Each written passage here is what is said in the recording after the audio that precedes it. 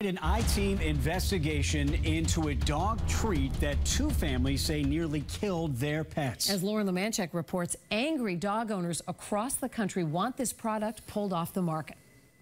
Give me a paw. Give me your other paw. Lisa Nickerson of Onset cherishes every moment with her dog Nala after a terrifying week this spring. Every day I thought I was going to lose her. It was awful. I was crying every day. Rachel Fortier of Rochester, New Hampshire thought she too was watching her dog die. I was devastated just the thought of not being able to take her home. The dogs survived, but they became gravely ill after they were given one of these. It's a real ham bone by Dynamic Pet Products. Her bowels and her intestines were completely backed up. Both women say they were shocked when they read the label after their dogs got sick. It says remove bone if it splinters or breaks. It also says bones are meant to be chewed over several sittings, not eaten. I don't know any dogs that do that. You know, dogs eat bones. These small little white pieces of bone bone fragments that are in these large pieces of bowel contents. Dr. John DeYoung of Newton Animal Hospital didn't treat Raja, but agreed to look at her x-rays. He pointed out that these blocks show the dog's digestive system is bloated and stuck,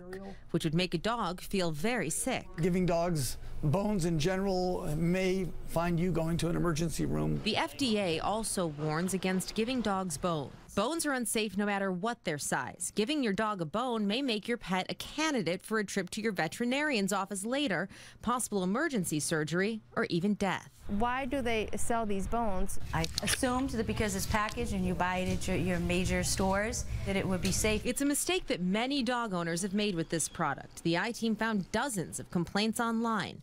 There's even a petition signed by thousands of people demanding the product be taken off the market. The thought didn't even occur to me that her consuming it once could was a life or death decision. The I-Team reached out to Dynamic Pet Products twice, and they never got back to us. On its website, the company says pet owners assume all liability associated with the use of the product. For the I-Team, Lauren Leamanczyk, WBZ News.